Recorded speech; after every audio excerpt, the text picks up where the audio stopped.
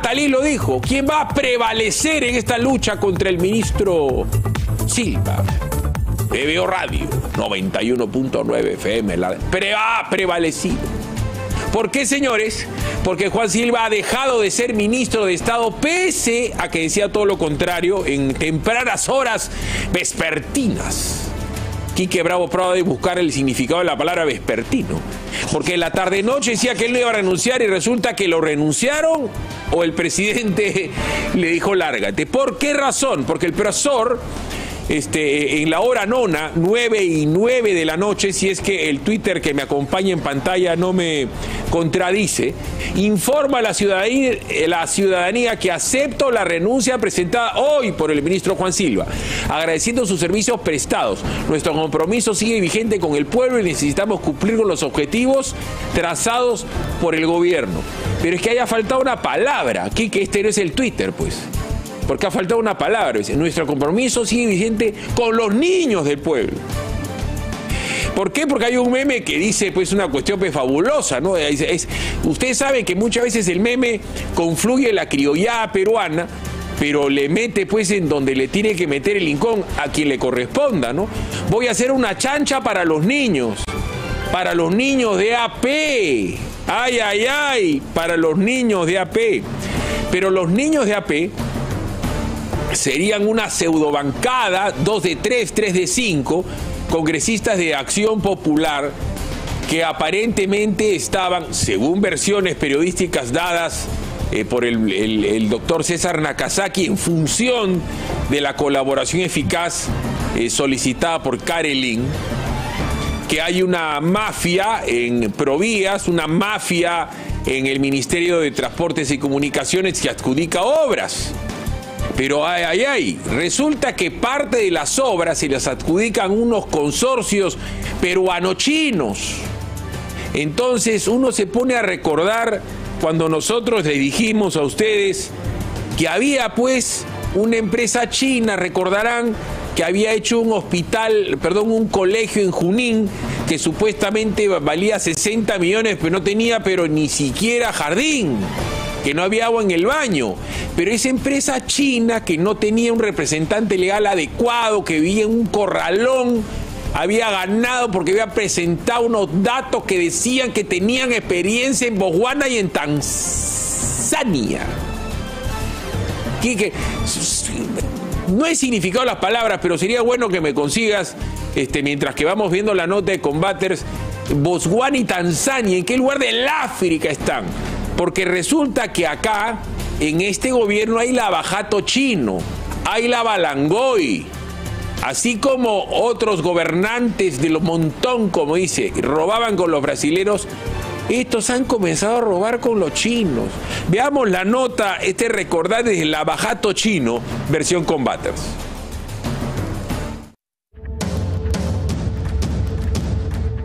Es posible que después de todo lo que hemos vivido con los gobiernos de Toledo, Humala, PPK y Vizcarra podamos volver a sufrir otro fenómeno como el que vivimos con Odebrecht. ¿Es posible que otras empresas del otro lado del mundo vengan al Perú a romperle las manos a un político para ganar contratos después de todo lo pasado? Parece que sí no han probado ni van a poder probar que Pedro Castillo haya recibido un solo sol Dos de las empresas más grandes de China firmaron millonarios contratos con el Estado por más de 580 millones de soles en el gobierno de Pedro Castillo. Así aseguró la ahora colaboradora eficaz Carolín López Arredondo, quien, además, dijo que existe una mafia en el Ministerio de Transportes liderada por el presidente Pedro Castillo Terrones. Sé que hay una mafia en el Ministerio de Transportes y Comunicaciones, conformada por el presidente Castillo, el ministro Silva.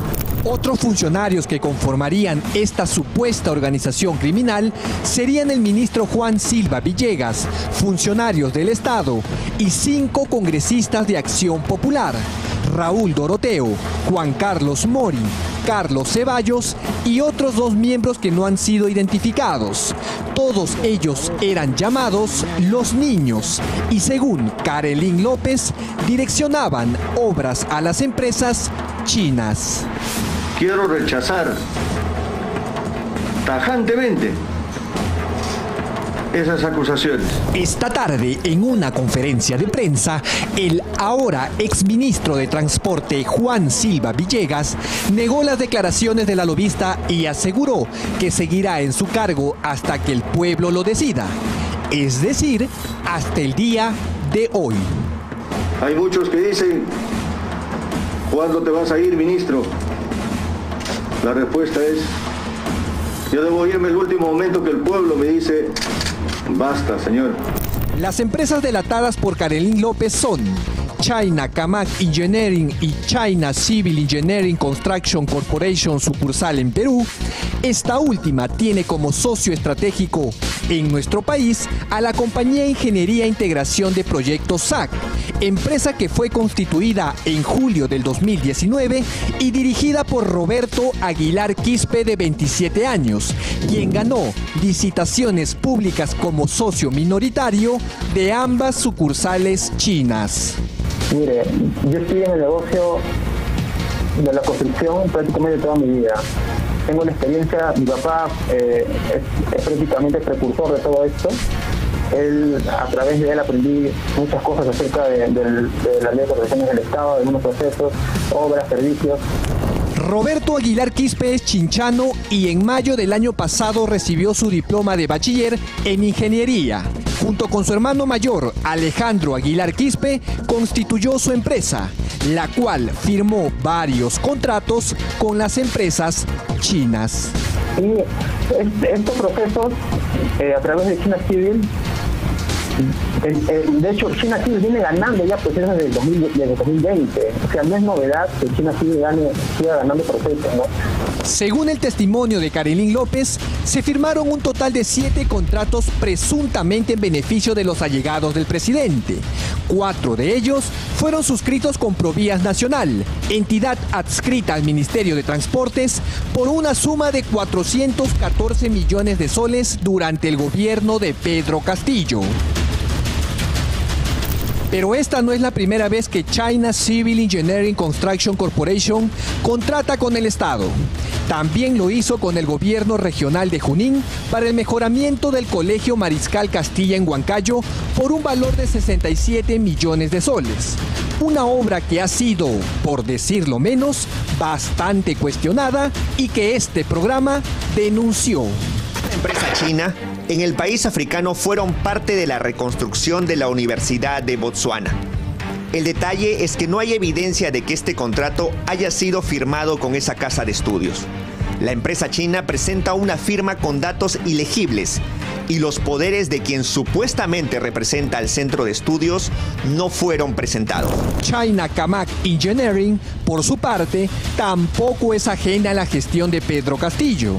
En octubre del 2020, el gobierno regional de Junín le otorgó la buena pro a esta compañía que se presentó a una licitación con la empresa Avanzada Tecnología y Servicios SAC para construir el hospital de Chupaca por 138 millones de soles. La empresa China Civil Engineering Construction Corporation, mediante un comunicado, negó las declaraciones de Karenin López y afirmó que es falso que sean parte de una organización criminal que opera en el Ministerio de Transportes. Las indicaciones de la señora en nuestra contra son completamente falsas y destinadas a perjudicar nuestra imagen, puesto que no tenemos ningún vínculo de amistad ni empresarial, ni siquiera por asomo con dicha persona, quien, por el contrario, mantendría vínculos con empresas que son nuestra competencia. La verdad cada vez se abre paso. Estas nuevas revelaciones ponen en jaque al incompetente gobierno de Pedro Castillo que, aparentemente, estaría con las horas contadas.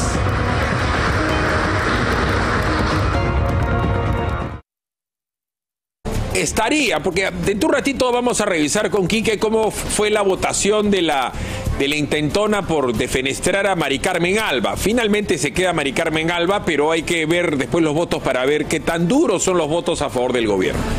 Pero vamos por partes, ¿no? Acá hay una la bancada hoy que le da sostén a este gobierno. Es obvio pues que Perú Libre está con ellos, que JPP está con ellos, que Somos Perú en parte está con ellos, pero esa acción popular. Entonces, esto de los niños te va diciendo que no son tan niños, pues que ya son adolescentes y hay que adolecen de ética, moral y buenas costumbres. Pero vamos a ver, porque no todos son iguales. ¿Qué cosa dice el congresista Elvis Vergara de Acción Popular? Horas previas al conocimiento de la aceptación de la renuncia de este, el papá de los niños que este RT sinvergüenza de Juan Silva Villegas, que tanto quiere a PBO Radio. Cuidado funcionarios del MTC que se quieren ustedes ir presos, no sean locos, pero en fin. Escuchemos a Elvir Vergara que decía que hace rato que ellos piden que se vayan una serie de ministros. El problema es que cuando habla en plural no sabes a quién se refiere, si a toda la bancada o si a toda la bancada, si los niños, pero en fin, veamos. Respecto a la pregunta, nosotros hemos pedido al Consejo de Ministros reiteradas veces, e incluso hace varios días atrás, que evalúe la remoción o separación de algunos ministros. Incluso esto se hizo mucho antes de los hechos que ahora generan este escándalo político. Y precisamente siguiendo esa misma convicción hemos pedido que estos ministros, no solamente se trata del ministro de Transportes, los ministros que en su momento tienen cuestionamientos, no participen en la reunión por cuanto creemos que tendría que evaluarse su permanencia. Ahora, respecto a regresar al tema de los colegas que han sido afectados, Tú lo escuchas al congresista Elvis Vergara, que es el vocero, y dices, ah, no, Acción Popular no está con el gobierno. Porque el señor es severo y él marca distancia y dice pues que tiene que no le daría la confianza al gabinete de, del ministro Aníbal Torres. Pero cuando uno se pone a pensar en Juan Carlos Mori, que presuntamente es uno de los niños, dice que él no es de los niños, que ni la conoce a Carelín, ni a ninguno de los empresarios. Bueno, en fin, vamos a ver cómo se desarrollan sus votaciones, ¿no es cierto? Veamos qué dice el señor Juan Carlos Mori, Acción Popular. Que me escucha, yo solo quiero ser enfático en una cuestión. Aquí se han manchado honras, se ha manchado la dignidad de cada uno de nosotros los congresistas al cuales han salido en este medio de prensa. Yo solo quiero negar, igual que mi colega, contundentemente que no tenemos absolutamente nada que ver en el reportaje emitido este último domingo. Nosotros no hemos tenido contacto con ninguno de estas personas involucradas. Mi persona particularmente, absolutamente, no conozco a esta persona, Carolín López, no conozco a ninguno de estos empresarios, ni he tenido contacto cercanía con ellos y tampoco conozco a los mencionados en aquel reportaje. Por lo tanto, yo también me acojo a cumplir con el Ministerio Público, con los entes correspondientes, a ser investigado, pueden eh, verificar mis finanzas, pueden verificar todo de mi persona. Yo siempre he tenido una conducta intachable en todas las funciones que me ha tocado encomendarme de las veces que yo he sido funcionario. Yo soy médico de profesión y por lo tanto niego categóricamente que tenga algún vínculo con el reportaje emitido este último fin de semana. Pero ustedes, eh, bueno, niegan tener alguna relación con esa empresa, por ejemplo, INIP, Ingeniería, Integración, Proyectos. ¿En algún momento han recibido, por ejemplo, al señor Roberto o Alejandro Aguilar Quispe, quienes pues eh, tendrían influencia en el otorgamiento de contratos en el, MTC? Mi persona jamás se ha reunido ni en forma legal o clandestina con ninguna de estas personas porque no he tenido ningún tipo de cercanía con ellos. Ahora, ante entonces, lo que dice Juan Carlos Mori que niega categóricamente, hay una parte que tiene una falencia conceptual, dice, porque yo soy médico, entonces como eres médico eres bueno, no, eso se llama falacias hominem, porque Vladimir Cerrón también es médico y Condori también es médico, ¿no es cierto? Y, y, y Pilar Macetti es médico, ¿no? Y el ministro Zamora es un sádico, ¿no es cierto? Responsable de un genocidio también es médico. Eh, ¿cómo dirían? Responsable político. Él era el ministro, que todo lo sabía y la gente se le moría todos los días, y lo que era ocultado por la prensa. Entonces, el ser médico no te da, pues, este, una santificación. Pero ahora bien, estos señores son de la bancada de Acción Popular, ¿no es cierto? Ahora bien, Carlos Ceballos era de la bancada de Acción Popular y de Acción Popular se fue Perú Democrático de Bermejo. O sea, es un giro, puede de 180 grados. Uno puede girar 360 porque quiere decir que regado al mismo sitio, ¿no es cierto? Quique Bravo Prado. Entonces, este señor, en el momento de los debates, porque a Mari Carmen Alba le hacen acusaciones, decía que sí, que la concordia, que la unidad, que hay que ser buenos, que no hay que pelearlos, ¿no es cierto? Que la unidad del Congreso, porque el Congreso tiene que ser, tiene que caminar de la mano con el Ejecutivo, pero al final votó en contra de Mari Carmen Alba. Escuchemos al señor cuando dice que él ha ido transparentemente a Palacio de Gobierno. Escuchemos. Televisión, congresista, ¿qué tal? ¿Cuántas veces usted visitó Palacio? Según los registros son ocho veces, no recuerdo bien, pero dicen ocho veces según los registros. Yo, recuerdo haber visitado como vocero de la bancada de Acción Popular eh, y también como vocero hoy de la bancada de Perú Democrático y yo he asistido tres veces que yo recuerde de manera personal con dirigentes, con gente de mi región a pedir el tema del proyecto de litio, el tema de, la, de, lo que está la contaminación de las cuencas, el tema de algunas denuncias de funcionarios, eso es lo que he presentado. Y está todo claro, he ido transparentemente, he presentado mi DNI, he solicitado mi cita con el presidente de la República y no me he escondido. No he ido a otro lado para, para poderme encontrar con el presidente. ¿No forma parte de los niños que se indica Karen? Absolutamente, porque yo soy de Perú Democrático. Yo he renunciado a Acción Popular en el mes de octubre y no olvidemos que en agosto yo no fui, yo estuve internado en una clínica con COVID y eh, no voté ni siquiera para la cuestión de confianza en Guido Bellido. Tampoco voté con Acción Popular para la cuestión de confianza en Mirta Vázquez. O sea, y que se me quiera sindicar en algo que yo no tengo nada que ver, para mí pues una irresponsabilidad de la señora. Bueno, no lo ha dicho como de propio, pero lo deje entrever que causa daño a las personas que hoy en día eh, tenemos familia y median nuestra honra. ¿Hay un error que se puede rectificar seguramente la señora o ya no?